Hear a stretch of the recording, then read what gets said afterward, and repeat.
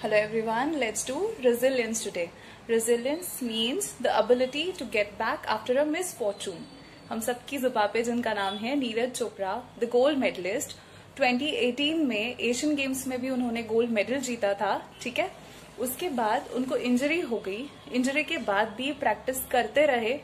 और 2021 हम सबको जैसे कि पता है टोक्यो ओलंपिक्स में भी उन्होंने गोल्ड मेडल जीता।